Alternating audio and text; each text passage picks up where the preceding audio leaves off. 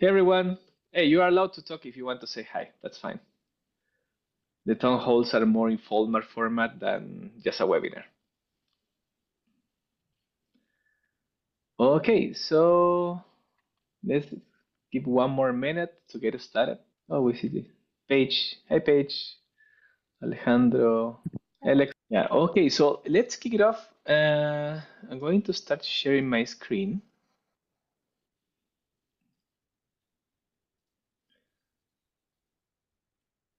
Okay, so here we go again. So first of all, thanks everyone for attending this third town hall. Town hall is a more informal session where we share some specific topics around uh, FluentBit. Uh, we have covered, for example, from news around the version 3.1. Also, we covered how you can do metrics and processing, metrics processing collect, in collection with FluentBit. And this one is an, about another topic that people has been asking about. It's like, hey, I don't understand how multi-threading works in FluentBit. And yes, we were generating some content, and we found that hey, this topic is really interesting for some people. It will be good to have it as a reference to let you know how this works in, in internals. As I said, this format is pretty informal. Uh, we will have a few Q&A session at the end, but please uh, put your questions on the chat, on the Zoom chat, or also in our Slack channel, so our team can uh, work on them and we make sure to address those. Okay, so let's kick it off. Um, uh, as we always do at the beginning of each town hall session, we would like to get your feedback from users. So we will take no more than four minutes just to fill up some information. Adriana is putting now on the chat a link to this document. So I would like to ask you please to log into it, but first let me share it. I think that if I don't share it, you won't be able to do anything with it. So it's a pretty open document. So just click on it and start filling the information and yeah, no more than four minutes.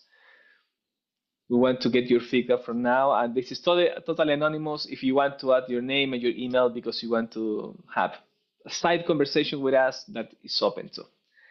There is no there's no problems. Okay, so the first question, yes, I'm going to, to read to the folks here is, have you participated before in FluentBit town halls? Yes, no. If so, any recommendation? Oh, nice, we're getting Spanish messages this time. Uh, what improvements or new features would you like to see in FluentBit? This is pretty much based on your own use case. As you know, everybody has different backends, different source of data, and even if you are new on this, and you're struggling with documentation, it's fair to say I would like to get better documentation or, you know, better getting started guides. Uh, the other one is about what improvements, features you would like to see in FluentBit. Uh, for us, this gives us as a guide to put stuff on the roadmap because also people file GitHub issues, but we have we have like 300 between bugs and enhancement requests. But also it's good to know for people who's attending these sessions, understand, hey, what you are interested in or what do you like to see. Uh, the next one is like, hey, feedback for us, anything you would like to add. This is pretty flexible, pretty open. And if you have questions that we can also, you can have it here at the end of the document. So we will make sure to make time uh, at the end to talk about this. Okay, so we have two minutes left. Please just go with it. Um, if also if you have and this is uh, quite common if you have any contribution like a PR, a pull request that we have not been able to, to take a look at it and you, you want our help to prioritize it, yeah, this is a good time too for that. Not to do it live, but uh, for us to add it to our backlog um, for the next week. Okay, and we are doing these town sessions every every two weeks. And at some point, if you consider that, hey, we should do it weekly, I don't know, that might be a good idea, maybe not. And I will share more information also on how you can get involved in this town hall. Now I'm the one, you know, proposing the topics, but would like to see also that the community can get involved in the town halls where you can share any topic around uh, FluentBit that you would like to share, very scoped to one thing, and we will help you out to to manage all the logistics to for you to present on this event. Okay, so the times is up. I appreciate. Uh, please keep writing if you want. This document will be open during this session, so make sure to just write down everything that is pending from there. Uh, as a reminder, FluentD and FluentBit are both graduated projects from the CNCF. That means that we have been around for a while and we are fully production grade. And as you can see in the landscape, we are together with Prometheus, Jaeger, and shortly, and I think that maybe this year also OpenTelemetry is going to graduate, so we will be at the same level. And we have yeah other projects around too. As I always said, FluentBit and FluentD, they are an open ecosystem. And when I said with open, we try to play well and integrate with others we would like to provide a unique experience where users does not face this vendor lock-in and actually you will be able to create any type of telemetry pipeline without hassle. And when you think about FluentBit, and this is always for, for people who's new to this, we aim to integrate, as I said, any type of sources of data and be able to connect this to multiple destination plus providing processing capabilities uh, in the middle and FluentBit runs on most of architectures, um, ARM x86. Uh, we run on macOS, on Windows, on Linux, uh, BSD. Uh, we have a lot of ton of embedded use cases, uh, and also now uh, the team from IBM is doing some work to have FluentBit running on S390X, which is another type of Unix operating system. And these town hall sessions, uh, we have a, a, public repository in GitHub where we are hosting all the information about the town halls. Pretty much what we have there, it's uh, when we do a demo, the demo config files, uh, we will have the reference um, to the YouTube recorded session. So we will make sure to be up, updating this project repository so you can contribute to it. And in any case, oops, if you would like to, um, if you found any issue or you would like to propose something to the town halls, hey, let's use the open source way, just file an issue. And hey, you might be the first one because we have not created any issue yet. So please feel free to raise your hand and this this is our primary point of contact. And there you have the, you know, the, the QR code stuff. And today we're here because we're going to talk about multi-threading, uh, what it means, and what is the value for FluentBit users. Maybe when you use FluentBit, sometimes it's running behind the scenes, or you're deploying a Kubernetes cluster in GKE, in Google services, and yeah, the log agent is working. There is Google Ops agent, FluentBit is running behind the scenes, and same similar thing happens on the AWS side.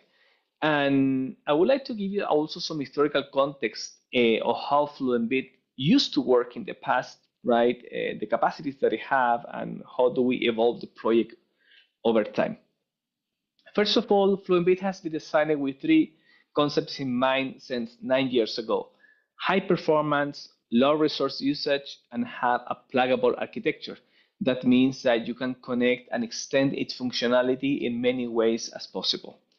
Um, Side story, as I said many times, FluentBit was originally decided for embedded Linux, but then we pivot to the container world. And yeah, since we got all this as design and architecture specific, specific stuff for optimal performance, low resource usage, uh, it ended up being a really good fit, you know, for high computing workloads like today, right? We run this on financial institutions, cloud providers relies on FluentBit almost um, anybody who needs to collect, process, and deliver information. And as of today, we keep the same concept, keep it as more lightweight as possible and try to have to, to deliver the best experience for the users.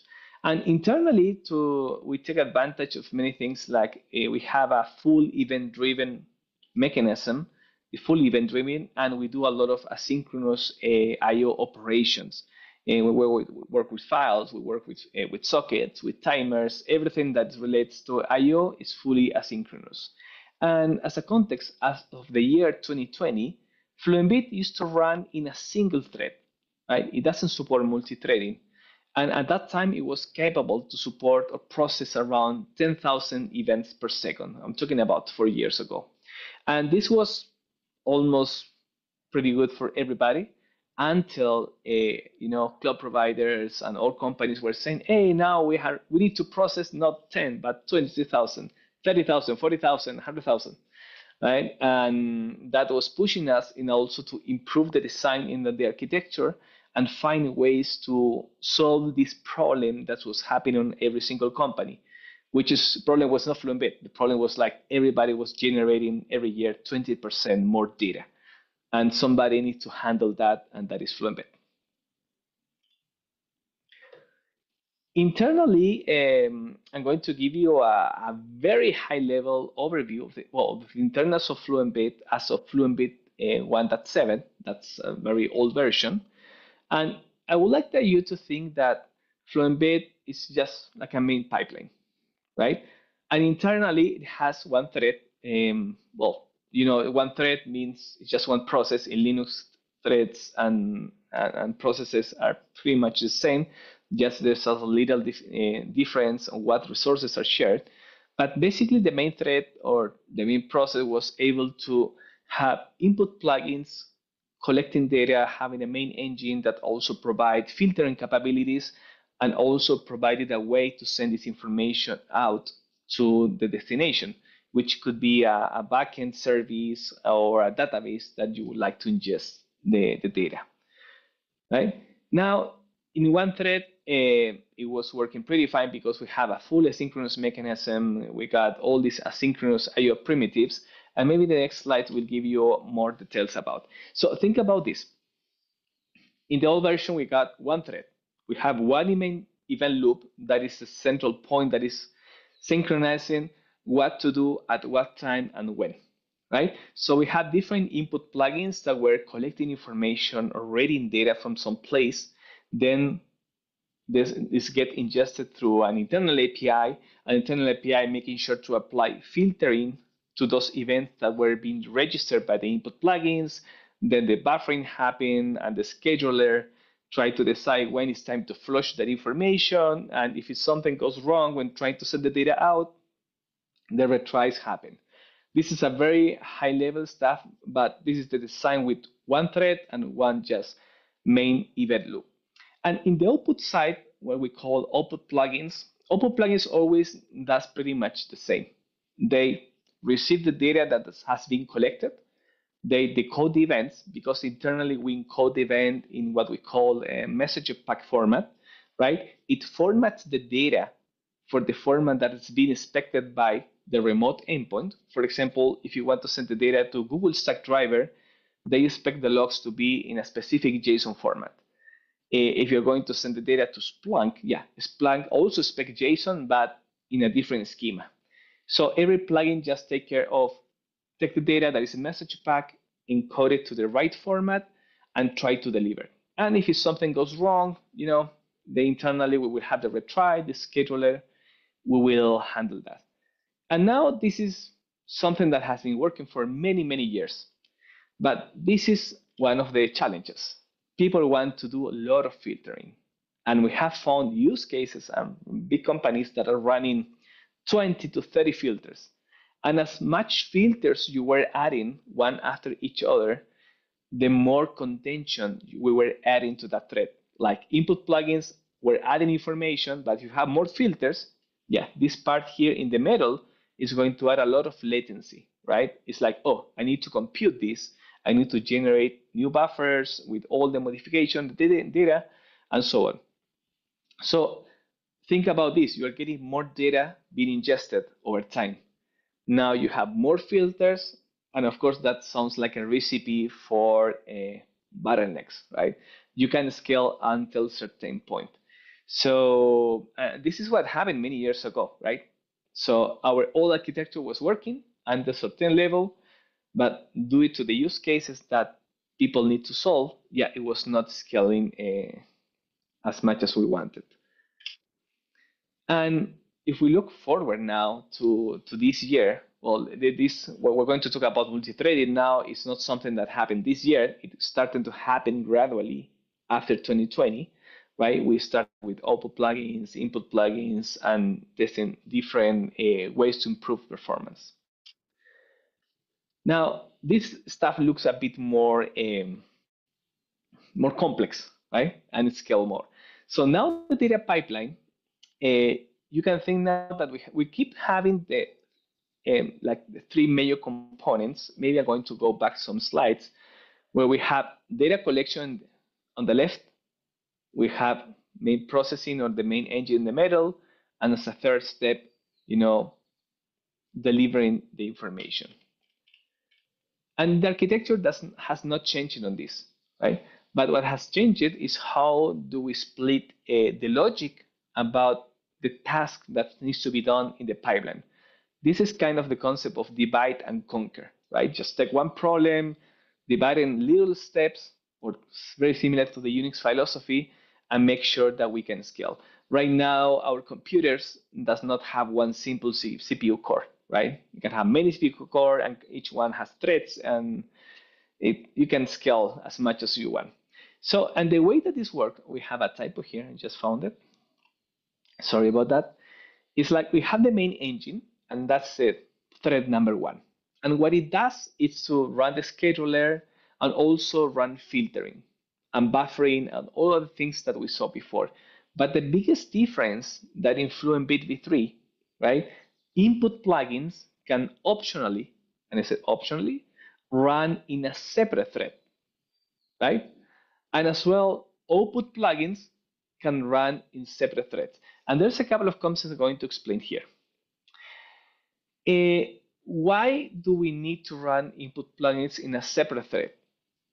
Uh, we found that um, talking to users, and analyzing their configurations, it's like they were always following the same pattern.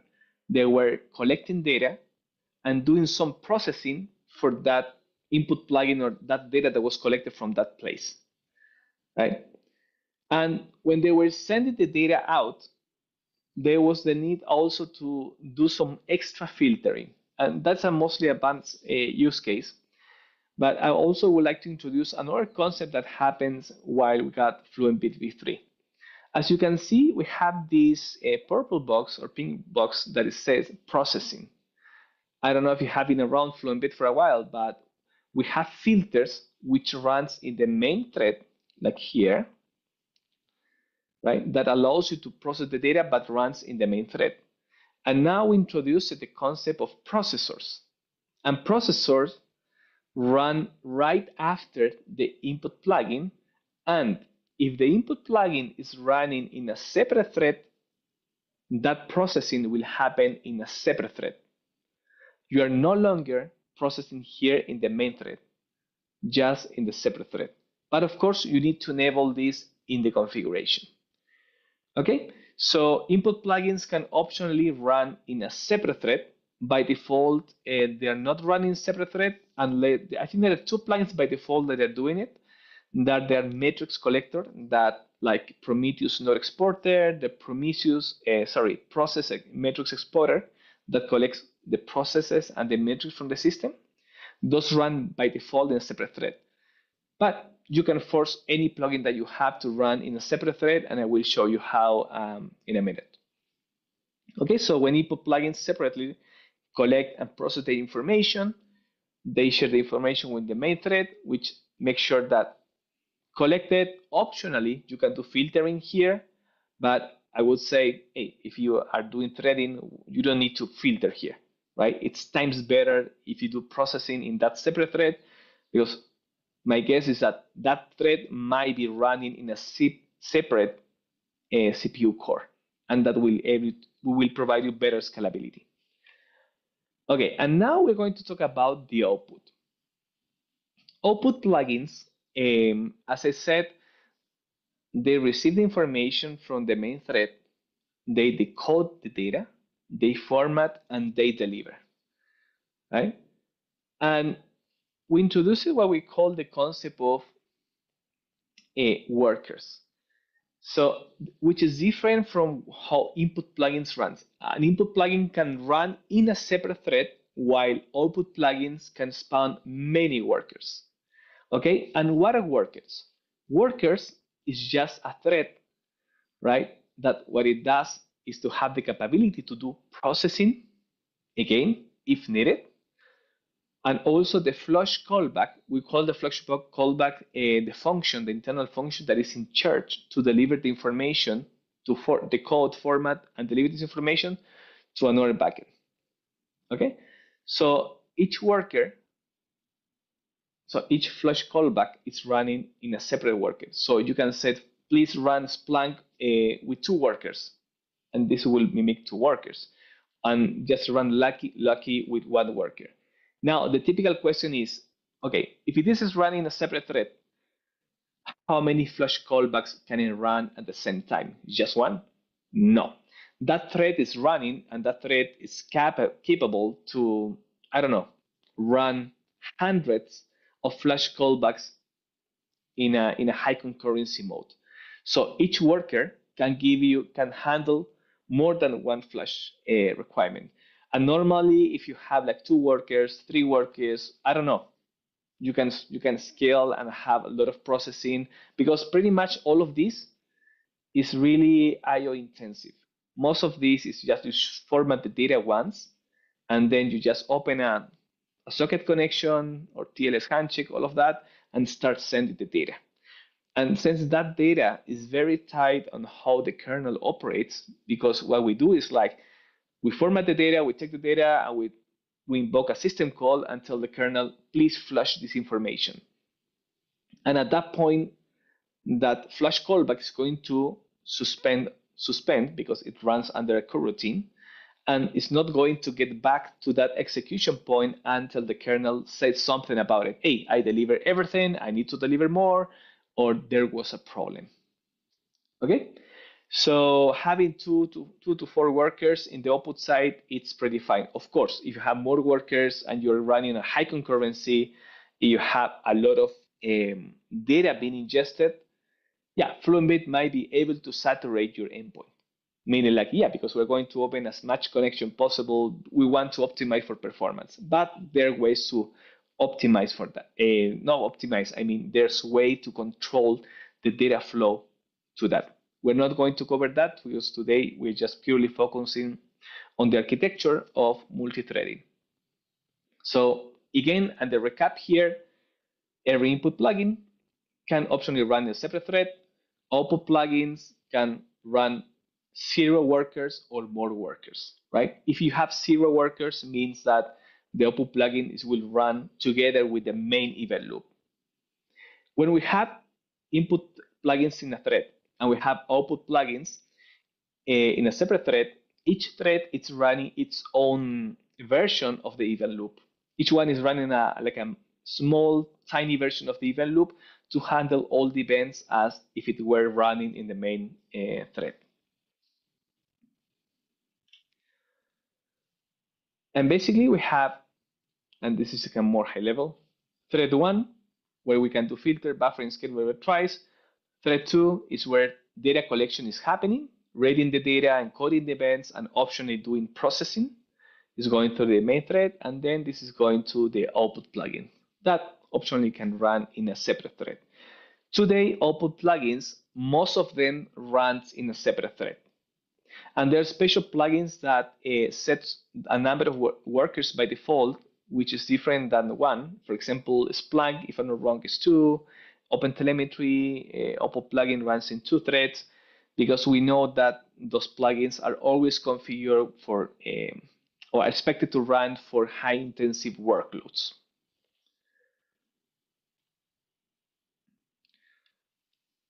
Okay, so multi-threading and configuration, or maybe um, Adriana and Austin, I don't know if you have some question as of now before moving forward. Um, let me check really quickly the document. I think that for now we don't have questions. Got it. Yes, no questions. Awesome. Well, I hope that um, I'm able to explain well what I'm trying to say. So, okay, so other concepts. So input plugins, from a configuration perspective, to make it run in a separate thread, you need to enable what is called the threaded mode, which is a Boolean option. If you're using classic configuration mode, you will say threaded on or threaded true. And if you're using the YAML version, it will be the same, on true. Everything that means is positive. In the output plugins, which is different, you need to specify what is the number of workers that you will need, want to define to span multiple workers. And I'm going to switch to my terminal right now to explain this. Okay, can you, uh, let me make it bigger. Okay, in my configuration here, or maybe let me use, uh, let me use Visual Code.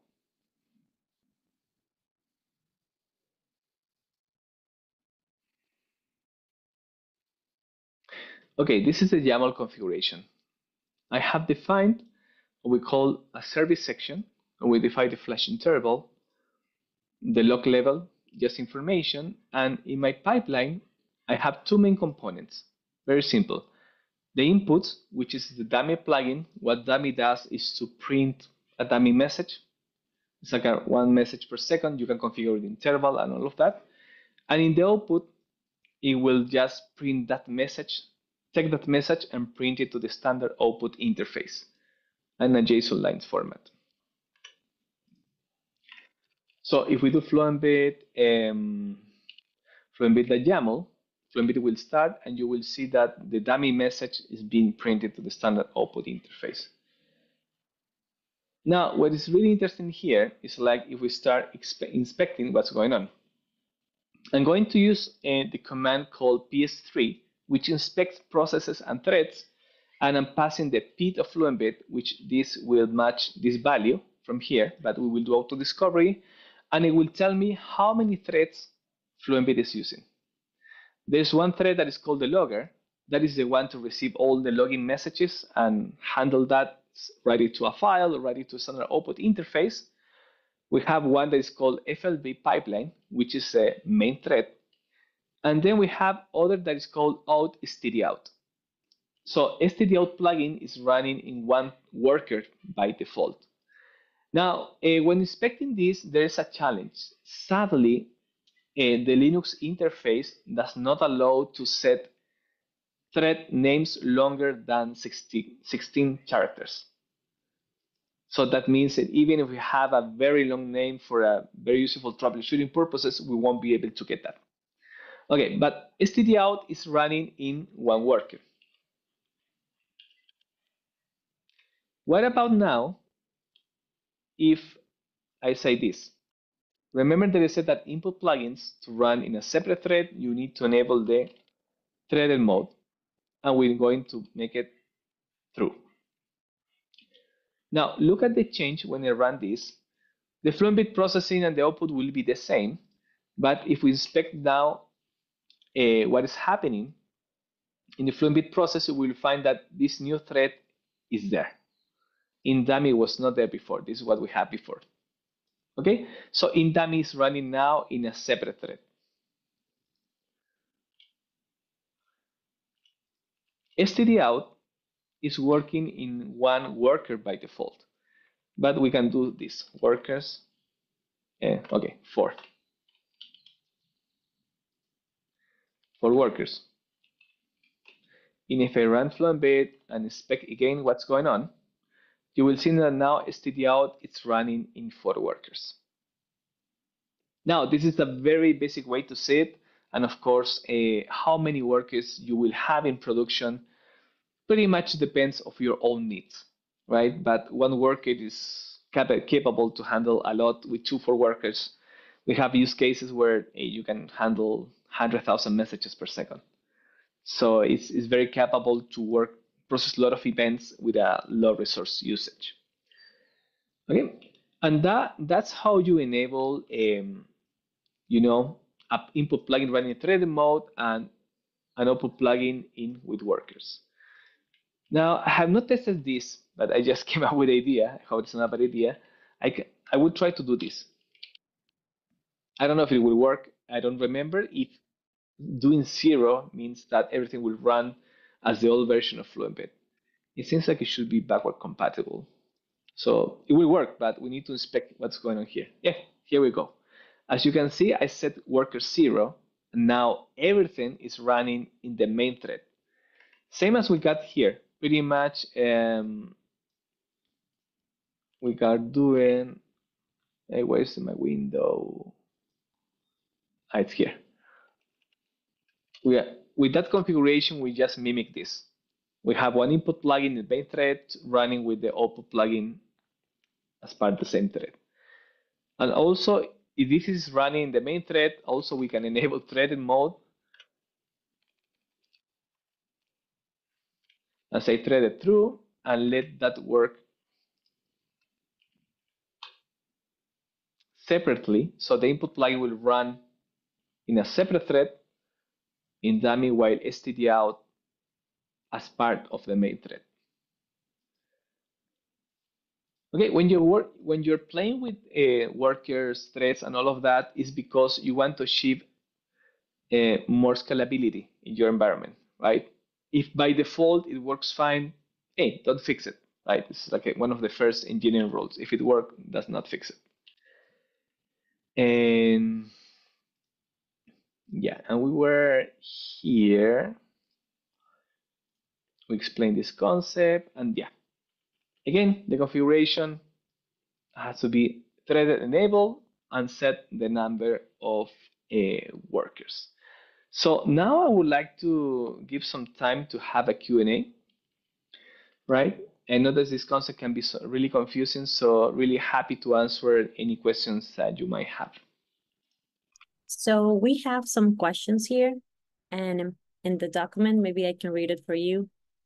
We have the first one. Is there a performance test to measure how much threaded inputs plugins can boost the maximum log volume the pipeline can handle? First question. Yeah. Is there a performance test to measure how much threaded input plugin can boost the maximum log volume can handle? Um, okay, performance test is always tricky. Before to answer that, uh, I think I need to need to give um, a good advice. When people test performance, right? There, usually you have another tool generating the data to see how Fluentbit or any other service is behaving. We found that normally people tend to run those performance test tools together in the same machine where Fluentbit is running. And that tool, since it tries to test performance, writes a lot of information to disk, generating very high I/O, and almost consuming all the resources of the machine. And when you try to test Fluentbit, yeah, Fluentbit is trying to work with the resources that the system provides, and at that time there are eh, a few ones.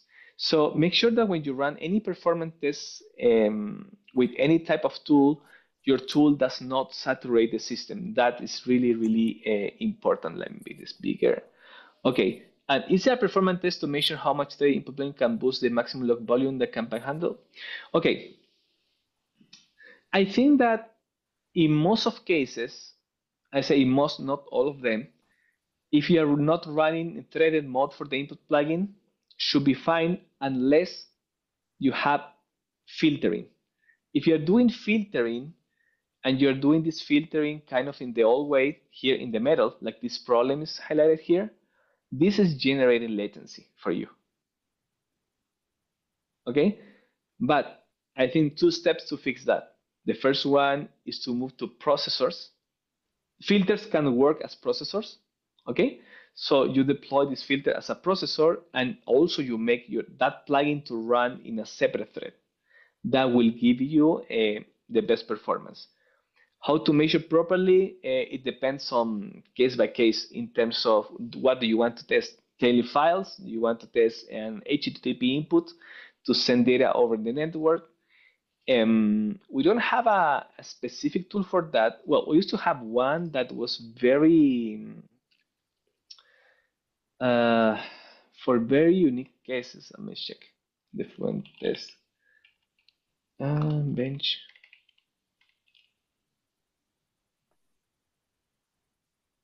Mm. So we have other benchmark tools, but not that one. Operator, charts, test suite, infra, CI, the whole channel. Oh, we have a lot of projects. Check. Fluentbit perf. Oh, we have not touched this code in four years.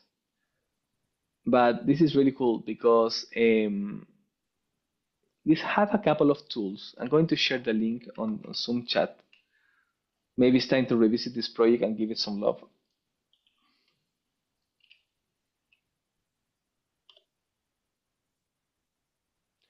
What it basically does, uh, Fluentbit spawns other Fluentbit and start generating data for you, but also that initial process is monitoring how Fluentbit is behaving. So you can say, okay, when generating like a million records, this is how much is writing every second. This is the CPU usage. This is the amount of um, CPU time spent on user mode versus system mode, which is kernel mode, and memory usage. So this is really good because you can configure it in different ways to see how Fluentbit behaves and how much resources are being used. Uh, because everybody measures hey, events per second right? But I always say that it's not the same to say, oh, my car is faster than you, yours, if you don't measure how much gasoline or gas you need to achieve that speed. Right? So always a always to, to to measure, okay, how much CPU, okay, we are writing, I don't know, 100,000 messages per second. Okay, but now tell me about CPU, tell me about memory usage, and where we are spending time. And this tool is really good for that.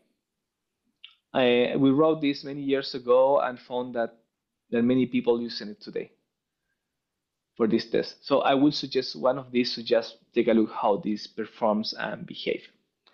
And if it doesn't work, please open an issue.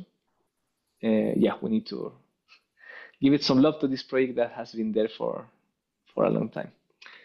Okay, uh, how much resources does threaded plugins increase?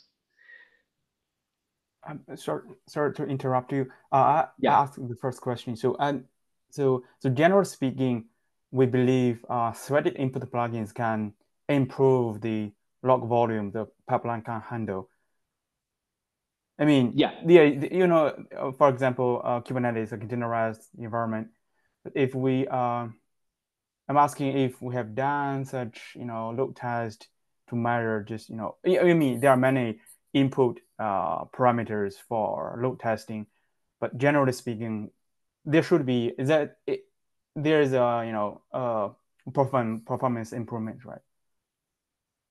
Yes, and there's a performance improvement because the moment that you run this in a separate thread, you remove the contention here in the middle. okay? Okay. Because yeah it's like it's not the same have one person running versus two. One run before you pass you the information and you run again right? So you're running in parallel. In different cpu cores you're optimizing so yes even if you're not doing filtering but if you're in kubernetes you are running uh, the kubernetes filter which is talking to the api server trying to read the cache of information that it has like labels annotations package, repackage everything. It's quite a complex uh, process. Uh, if you're not doing threading mode, pretty much uh, you're doing this, right? Now, if you enable threading in the tail plugin and you attach Kubernetes filter as a processor, yes, you are splitting the logic, you know, and you are removing the saturation that normally happens at this level in the middle. So yes, okay. it will, will be faster. It will okay, be faster because you're removing contention. Okay, uh, and yeah, my, my understanding is if you know threaded input plugins, you know, uh, for some you know use cases, it has bigger you know performance improvement on than other scenarios, right? Bigger, no. We have not seen downsides. Honestly. Okay. Okay. Yeah, but the always the rule is if it works, don't fix it. If you want to go for more, yes, move to threaded plugins, move the filter as processors so you can desaturate this stuff. Now, if you just move to a, uh, as a threaded as a threaded mode and you don't move the filters, you might not notice a difference. But if you move the filters, yeah, you will notice that. Okay, thank you. Yeah. How much resources does threaded plugins increase? Uh, a thread needs maybe 500 kilobytes, one, two megabytes maximum of stack size on Linux. So it's, it's not a big deal.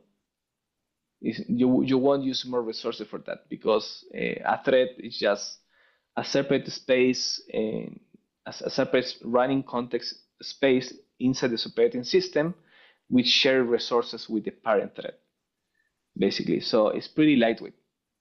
It's not a it's not a big deal in terms. Oh, now we'll use double memory. No, it's it's not like that.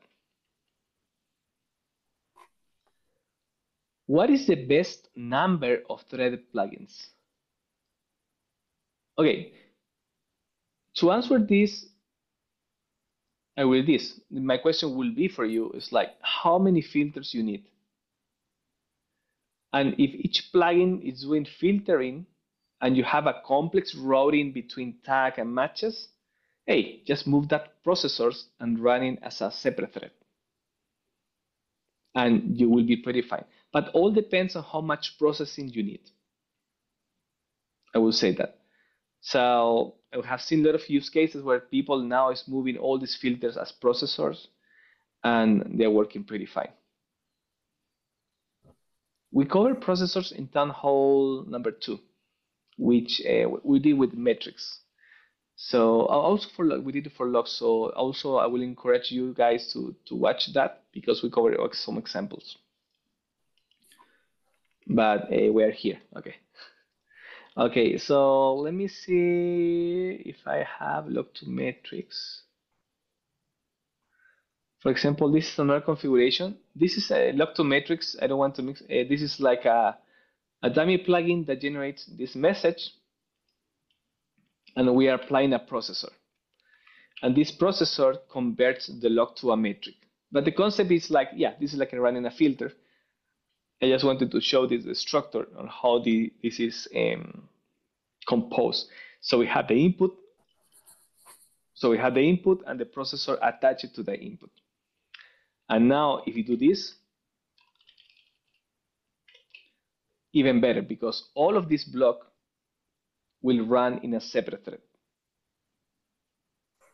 Which, if we don't have that, right? Here we have filters log to metric, but that runs in the main thread or all together adding contention. So, okay, so Fluentbit have a limit to protect CPU usage? Oh no. Fluentbit is like all you can eat, right? He just sit there and he said, I will try to go as much as possible. Today is like, I don't know, Friday in Pizza Hut, I will try to eat everything because I want to go faster. And the way to uh, slow down things, there are many techniques with membuf limit if you're not using file system storage. There's a way to say, I don't want to create too many connections in the output side. Um, and if you're running containers, that's a way to isolate and restrict resources to the process that is running.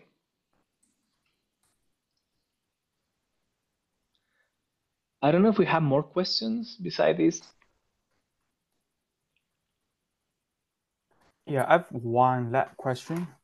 Um, oh, um, so for the multi-threading model, what is the scheduling model? Uh, does, uh, you know, the threads created for input plugins and for the workers workers for the other plugin are those uh, plugins scheduled by the main thread or just you know always done by the kernel thread scheduling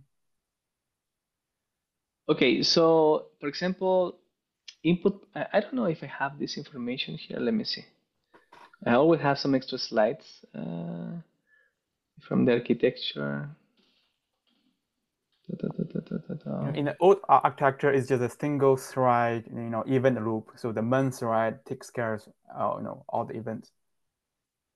Yeah. Okay. So maybe your question is how the communication happens. Right. Yeah. Okay.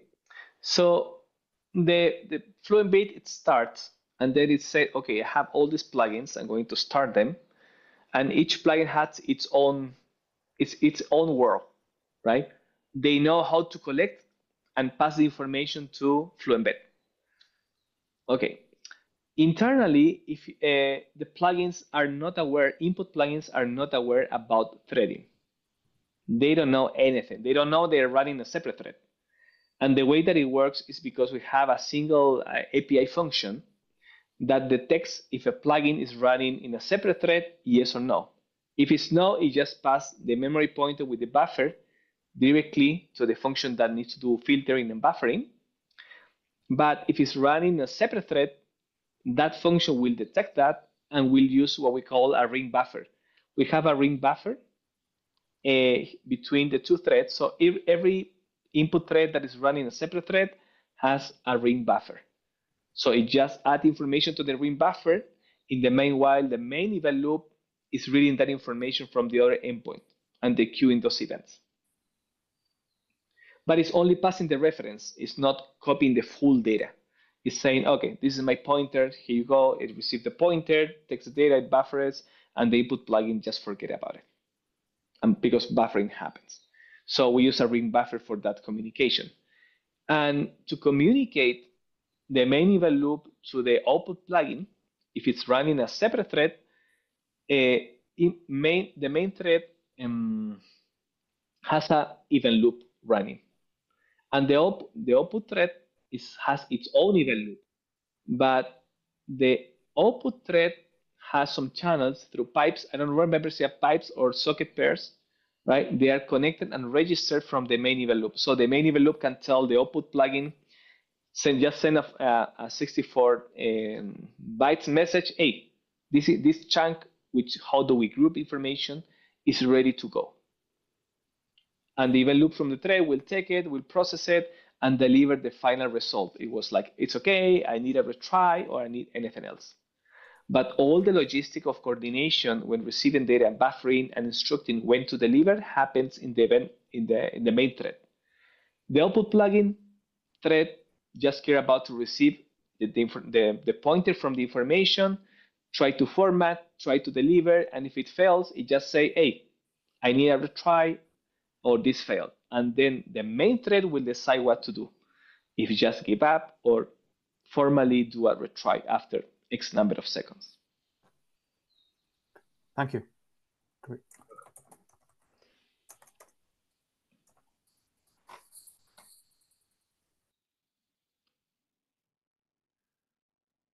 okay. Sure. You, would you like me to type it or should I, can I just keep talking? Oh, you can talk and then at the end, if you want to type it on the document, we'll will be it. great. Okay, Yeah. cool. Uh, this was really exciting to learn about. I'm curious, what situations would you think you should scale instances of FluentBit versus configuring this multi-threading? Like when would you just want to add another instance and scale FluentBit horizontally? When you don't want that FluentBit becomes your single point of failure. Mm, okay. Okay, but looking like, uh, okay, let's draw something.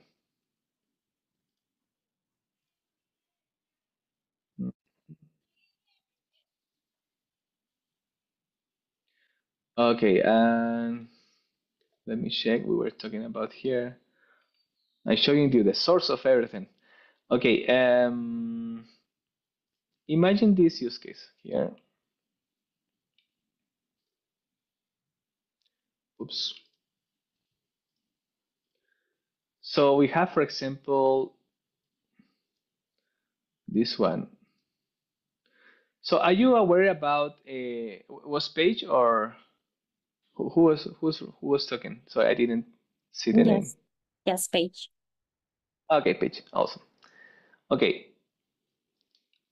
I'm going to use this. If you have, for example, FluentBit running as an aggregator, an aggregator means like it's a central point where you are receiving data from other agents. It could be FluentBit or could be other remotely. So these guys are talking here. So this is what we call a forwarder or something that sits on the edge where the data collection is happening. And this is what we call an aggregator. This kind of different type of deployment models. And of course, if this crashes, right, these FluentBit agents, we will keep retrying and trying to talk once it gets alive. Now your question is, hey, when should I consider to have a more uh, resilient design of architecture if something goes wrong here? Yes, yes. Yeah, usually this is what people does. Oops. Let me simplify this. Uh, group selection.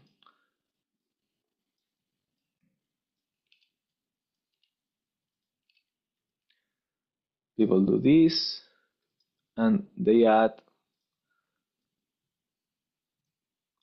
what we call a balancer.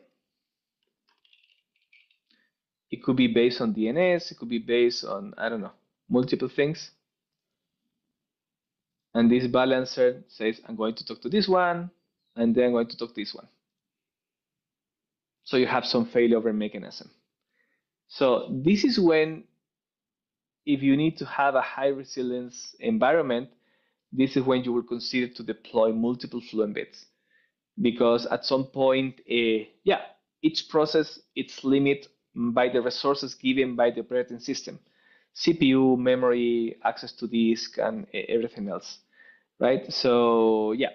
Now, if we are in Kubernetes, yeah, you might look for some pattern around an operator that ought to handle this uh, for us. And so we have some commercial products uh, from Chronosphere, observIQ, and or They have their own tool, not based on FluentBit, but their, their own way to create these scalable pipelines. Uh, if you want crashes, it will to be able to create it and auto balance and recreate it. I don't know if that answered uh, the, the main question.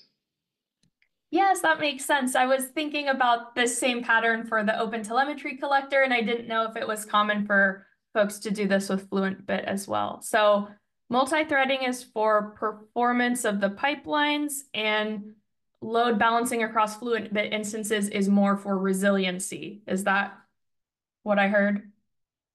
Yes. Okay. Now, there's a, if we talk about also with the collector, um, for example, if we talk about, not, not about tracing because I know the collector use case about our chain sampling and all of that stuff for tracing. What is important also is to understand what is the capacity of my aggregator or collector is running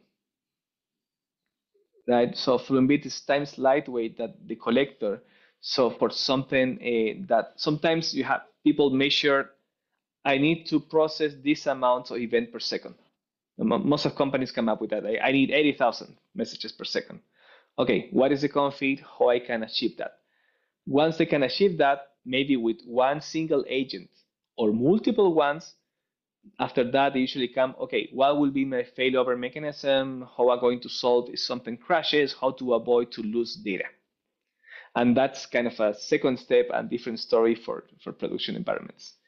But yeah, the patterns are pretty much uh, the same that hasn't existed even from the Fluent era 11 years ago, like having forwarders, aggregators, and you will sometimes people say, I would like to have this here because I don't want that the agents talk directly to the output backends. Because that means that you need to share credentials or you you you might you might expose something that you don't want for and for security reason it's not good.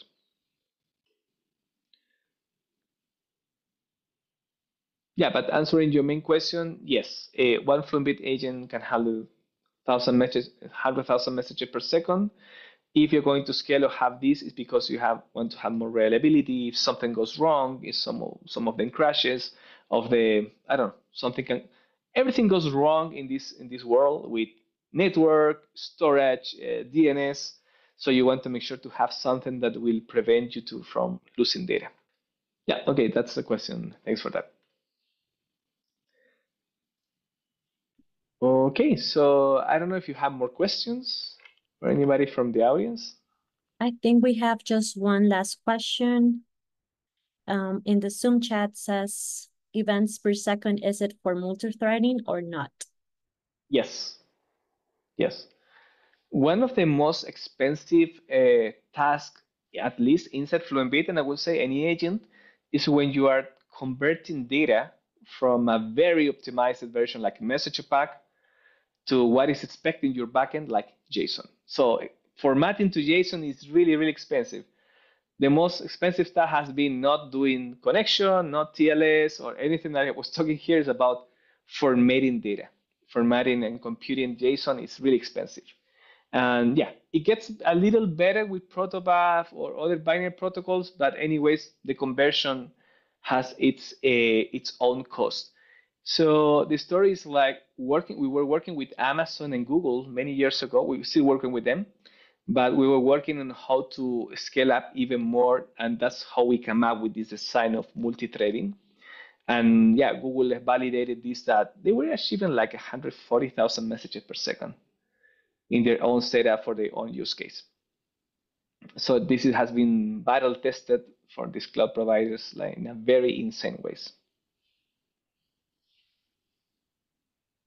So yes, if you want to shift that number, you need multi-threading.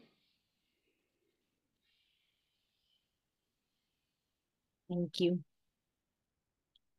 Um, Eduardo, could you share just for a second the last slide? Oh, sure. Thank you. This one. Yes, thank you very much. I think this will be kind of our last slide here. And thank you, Eduardo, and thank you everyone for joining. Happy to see you all here. Um, so before we finish the session, I'm Adriana, part of the FluentBit community here. And I want to share some resources that will be useful for you and some QR codes for you to scan as well. So we have the first one, which is the Manning book. If you haven't um, get or downloaded yet, this is a good opportunity. Um, the second one, we have every two weeks our meetups. This is kind of a small group session. Um, it, it's led by a primary maintainer, great chance to ask questions as well, check PR codes um, and roadmaps requests. And our third one, and coming soon, it's our webinar, Parsing 102 with FluentBit. It will be hosted by our FluentBit um, maintainer, uh, Jose Lecaros. Registrations are open. I will send you all this information later as well. But yeah, thank you so much for joining us. And yeah, I think this was my a small slot promotion. Yeah, thanks, Adriana, Nothing for setting up this, and you folks for joining. So yeah, we're having the town halls every every two three weeks. We're covering some one specific topic. If there's anything that you would like to be covered, please open a GitHub issue on the town hall repository that is shared at the beginning. And yeah, that will be all from my side.